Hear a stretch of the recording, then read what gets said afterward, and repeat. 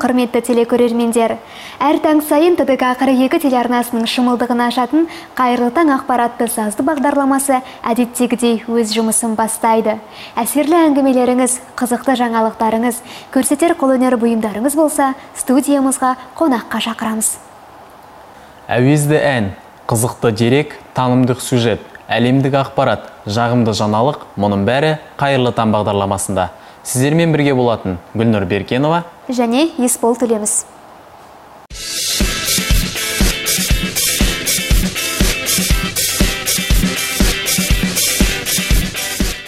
Құрметті телекөрермендер біз сіздерге тамаша орманы мен өзені сайын даласы бар орал өңірін әрі қарай таныстыратын боламыз. Өлкенің өткен тарихы көптеген жазушылар мен айтулы оқиғаларды қойнауына жасырып жатыр. Бұл өлкеде болған кез келген адам табиғат сұлулығына тамсанбай қоймайды.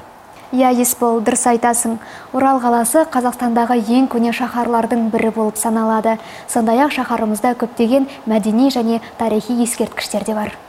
Сондай ақ қазақтың ұлы композиторлары құрманғазы дина мұхиттың жистандай әншілер хадиша бөкеева роза жаманова ғарифолла құрманғалиевтің жазушылардан тайыр жароков хамза есенжанов қадыр мырзаәлі кеңес одағының батыры мәншік маметованың туған жері.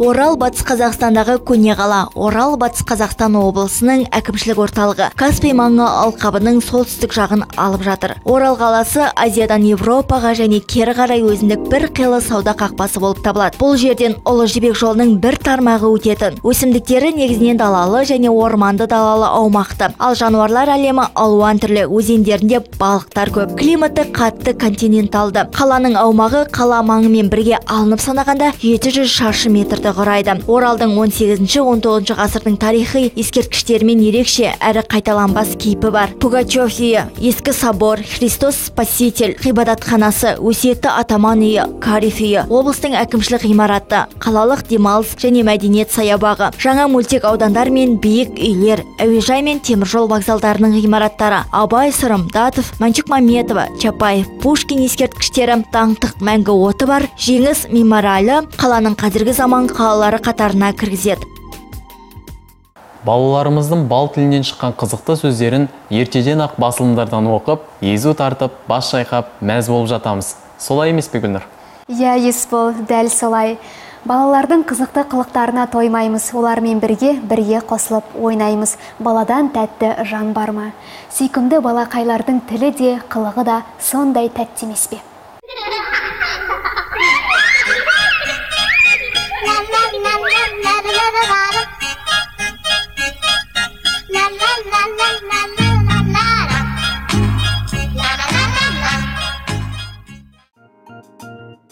Тамақ жегісі келген сөйлеп кетеді қарны асады себебі оларға тамақ беру үшін үрмейді иттер сүйек жейді олар сүйекті тістейді бөтен кісі келеді олар тамақ жегісі келіп болғанда сол өйткені олар қыздарға үреді олар деген қыздарға үрсе олар қашып кетеді сосын деген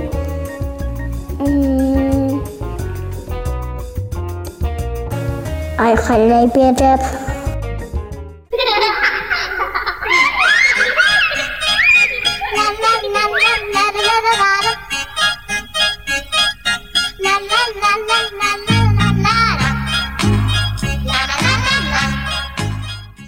ғалымдардың айтуынша жеміс жидектің құрамында қант мөлшері өте аз сондықтан олар денсаулыққа өте пайдалы.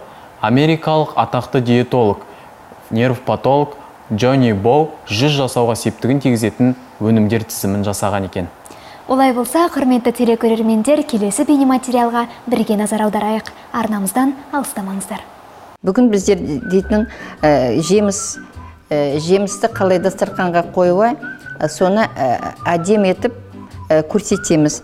Ең бірінші жемісті ә, аламыз ә, қараймыз қандай свежий ма міне көк жасыл ә, қызыл көк ә, дизайныға ә, кескенде дизайны күшті болсын деп түр түрінен аламыз. Ең бірінші алманы алып кесеміз ортасынан. Енді тағы бір бөлеміз. Бөлгес міне ортасындағы шемішкіні алып тастауға тырысамыз. Оны аздап аздап кесеміз мына сонда алма мына таза болады. Сол осындай болғасын біздер дейтін екі жағынан параллельно етіп кесе береміз осылай. Әдемі етіп кесіп болғасын ол дейтін осындай шығады. Сосын ол алманы кескесін біздер осылай жайлап жайлап қозғаймыз. Қозғағанда бізде осындай әдемі гүл болып шығады. Ол гүлді біздер осылай қоямыз. Ал мурт біздер дейтін бір жағынан кесеміз чтобы дизайн был күшті э, осылай кесеміз бір жағынан. Сосын э, кейін төмен жағын алып тастаймыз. Алма сияқты осылай кесеміз. Сосын ол алмурт алмуртты аламыз да мына кескен жерін кескен жерін жайлап осылай қозғаймыз. Сосын оны осылай қозғағасын ол спираль сияқты әдемі көрінеді. Апельсинді ор- ортасынан осылай кесеміз. Сосын дейтін бұрыш бұрыштап осылай кесе береміз. Бір бұрышын аздап осылай кесеміз. Кескесін оны аламыз да мына ә, бокалға былай қыстырамыз.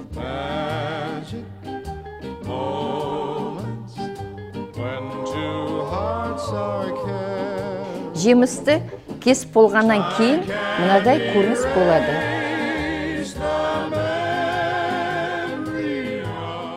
Бағбақ көктемнің алғашқы гүлі. Адамзат баласы оны ертеден қадір тұтқан. Ал оның емдік қасиеті туралы ежелгі грек халқы алғаш ойлап тауып ғылымға енгізген екен. Араб медицинасында да бағбақ емдік өсімдік ретінде пайдаланылады. Көптеген елдерде бақбақ тағам өнімі ретінде бағалы болып саналады екен. Ал орта ғасырлық дәрігерлер бақбақты көз ауруына қарсы дәрі дәрмек ретінде де пайдаланып науқастарды емдеп жазған екен. Құрметті телекөрермендер бақбақтың тағы да адам денсаулығына қандай пайдасы барын бірге білейік. Бағбақ гүлі көктемнің тұңғыш гүлі. Ол еліміздің барлық өңірінде өседі. Оны ел ішінде сарғалдақ деп те атайды. Біз бүгін сіздерге бағбақ гүлінің адам денсаулығына пайдасы туралы айтатын боламыз. Диабет кезінде бағбақтың уақтап туралған тамырын бір стақанға салып шай секілді қайнатып ішіңіз. Күніне осылай 3-4 рет ішіп отырсаңыз диабеттің алдын аласыз. Онкологиялық аурулар кезінде бағбақтың 100 грамм жас жапырағын тұзды суға малып оған 50 грамм ұсақтап туралған жуа мен 25 грамм ақжелек қосып өсімдік майын араластырып ішіңіз. Сонда сіз түрлі онкологиялық аурудан аман қаласыз. Әлсіреп қалған кезде де пайдасы мол. Бүйректің қабынуы кезінде бағбақтың тамырын үккіштеп үгіп күніне екі рет тамақ ішерден жарты сағат бұрын тұтыныңыз. Ал жүрек аурулары кезінде бағбақ гүлінің тамырын құрғақ күйінде жеп артынан су ішіңіз. Осылай күніне екі үш рет қайталап тұрсаңыз жүрек ауруларынан құтыласыз.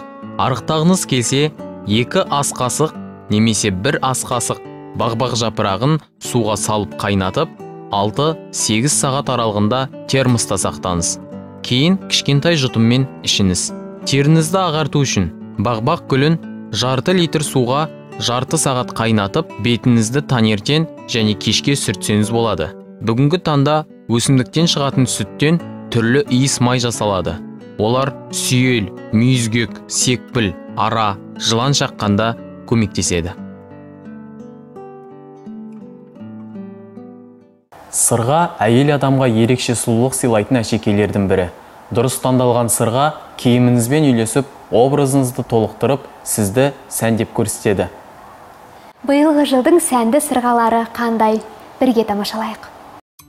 Жаратылысы тым ерекше нәзік жандыларымыздың әшекей бұйымдарына деген қызығушылық бағзы замандардан бері жалғасып келе жатыр. Мұндай әшекейлердің бірі сырғалар. Бастапқы кездерде сырға деген ұғыммен бірге түрлі тылсым күштер дуалар ілесіп жүретін болса бүгінде олар әйелдер қауымының сұлулығына сұлулық қосып әрлендіретін әшекейдің рөлін атқарып жүр. Алайда сырғаның атқаратын қызметі мұнымен бітпейді. Олар өздерінің қожайындары туралы да көп нәрсе айта алады. Сонымен сырғасына қарап қалай тануға болады?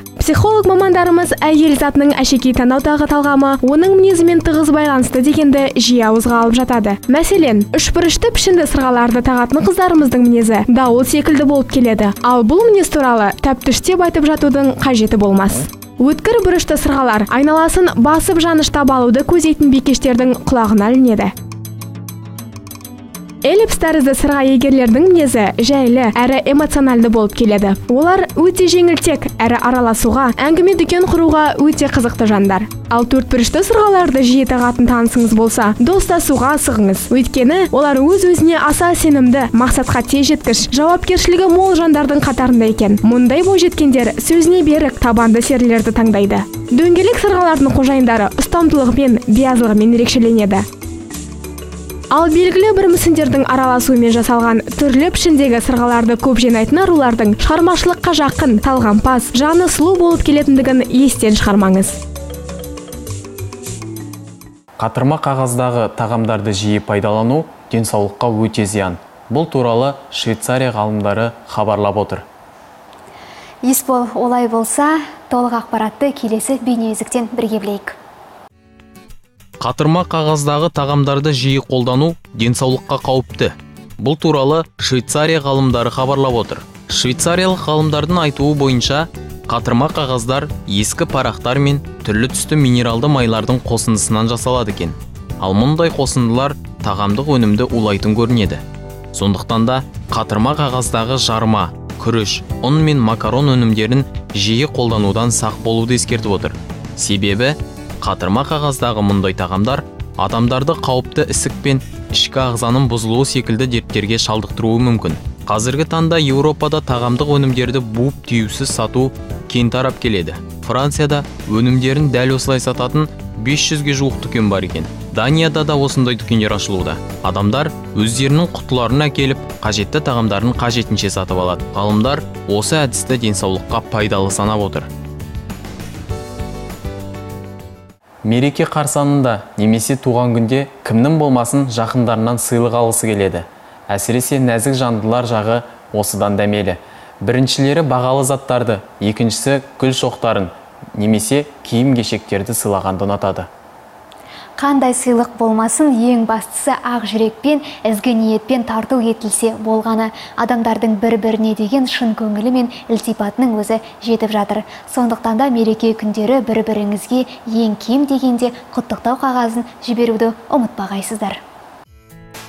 Сыйлықты қалай таңдау керек? Сыйлық алу жақсы ал сыйлау тіпті қызық. Мынадай жағдайды елестетіп көріңізші. Жақыныңыз сіз сыйлаған сыйлықтың қорабын ашып тұрып көзімен ерекше ықыласпен алғыс білдіреді. Ал сіздің жүрегіңізде жылы сезім пайда болады. Әлемдегі барлық адамдарға сыйлық жасағыңыз келеді. Мұндай әсерлі сезімдерді тудыратын сыйлық қандай болу керек? Сыйлық сыйлау оңай сияқты көрінеді бірақ ол өте қиын әрі жауапты іс. Сыйлықты анықтап алу. Бұл сыйлық таңдаудағы ең негізгі кезеңдердің бірі. Мұндайда барлық нәрсені ескеру керек. Сыйлық алушы адамның талғамы. Сыйлық алуға қажет болар қаражат. Сыйлықтың алушыға ұнауы осыған байланысты. Егер сыйлық алушының талғамын білмейтін болсаңыз онда оның өзінің ойын сұрап көріңіз. Өз талғамыңыз жақсы болса оған сүйену де қателік болмайды. Мүмкін болар нұсқаларды қарастыру. Қандай сыйлық алу керек екенін шамамен біліп алғаннан кейін сыйлық алуға болатын жерлерді іздеңіз. Сыйлықты қайдан алуға болады? Нұсқалар өте көп. Бірінші дүкендерді аралап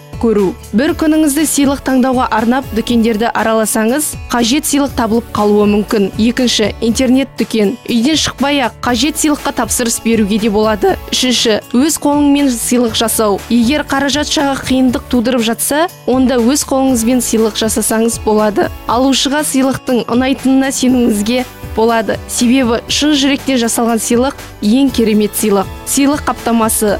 Сыйлық дайын болған соң оны қаптаумен айналысу керек. Бұл да маңызды сәттердің бірі. Қаптамаға қарап сіздің сыйлық алушыға деген көзқарасыңызды білуге болады. Сондықтан сыйлықтың түріне қарай қорапша жылтыр қаптама немесе сыйлық сөмкесін пайдаланыңыз. Бүгінде бидің сан түрі бар және жылдан жылға даму үстінде. Ал бүгін біздер балет биі туралы айтатын боламыз. Балет би өнерінің шыңы. Балет бишілерінің дене бітімі сымбатты омыртқалары тік аяқтары түзу болады. Негізінен бидегі басты қағида денені бір қалыпты ұстау. Ал баланы балет биіне 10 жастан бастап қабылдайды екен. Ғалымдар балет бишілердің төзімділігімен ғана ерекшелеп қоймай олардың ми құрылымының да ерекше екендігін дәлелдеп отыр. Осы ерекшеліктерінің арқасында қойылым барысында бастары айналмайды екен. Олар ұзақ уақытқа созылған дайындық барысында аяқ ұшымен жүруді үйреніп қоймай денені тепе теңдікте ұстау өнерін мықты меңгерген. Ереже бойынша бастың айналуы ішкі құлақта орналасқан сезім мүшелерімен тікелей байланысты. Бастың қимыл қозғалысын осы жердегі сұйықтыққа толы камералар басқарып отырады. Басыңызды жылдам қозғалтқан жағдайда осы сұйықтықтың арқасында басыңыз біраз уақытқа дейін қозғалып тұрғандай сезіледі. Балет бишілері дайындық кезінде бір нүктеге қадалып қарауды үйренеді де соның арқасына бастары айналмайды. Ғалымдар балет бишісі мен қарапайым адамның миын сканерлеп миышық пен ми қыртысында айырмашылық бар екендігін анықтаған. Миышықта дененің тепе теңдік қалпы жайында мәліметтер жинақталса ми қыртысы бастың айналуын бірінші болып сезеді. Екеуін салыстырғанда бишілердің миышығының көлемі кішірек болған. Медицина департаментінің докторы барри симунгалдың айтуынша балериналар әр қимылдарын бақыламастан жаттанды болып қалған қимылдарды қайталай жасайды. Олардың миларының жаттыққандығы соншалық бас айналуды жылдам қабылдайды. Тдк қырық екі телеарнасының сүйікті көрермендері. Өкінішке орай бізге берілген уақыт та өз мәресіне келіп жетті. Естеріңізге сала кетсек бүгін сәуір айының 28 жұлдызы күн бейсенбі. Ендеше жұмыс аптасының бейсенбі күні сіздерге тек жағымды әсер сыйласын деген ізгі ниетпен біз сіздермен қоштасамыз. Амандықта жүздескенше ағайын тдк қырық екі арнасы әрқашан қосулы болғай.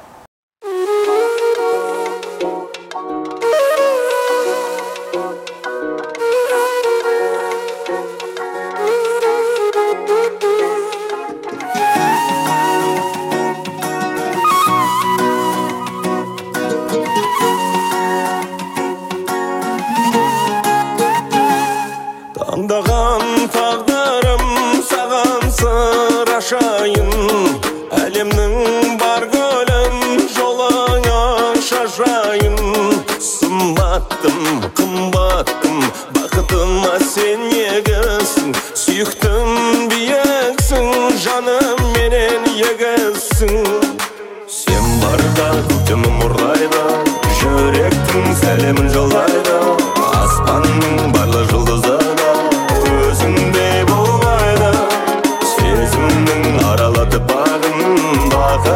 procedendo